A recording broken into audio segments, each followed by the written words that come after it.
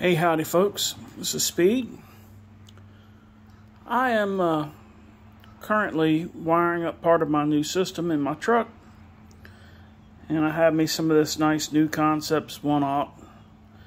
And I was having problem with these strands flaring out when you try to put it in to the amplifier or a ferrule. And uh, it was aggravating me because there was always just that one strand. So uh, I remembered, uh, by the way, I'm also an amateur luthier. And in a single coil gu guitar, uh, there's always a 60 cycle hum uh, from RF interference generally. Some guitars are worse than others. But the way we cure that is we use this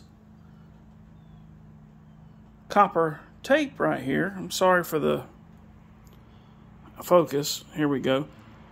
We use this copper tape right here to line the interior cavities um, and essentially make a Faraday cage. And the adhesive on the back of this tape is also conductive.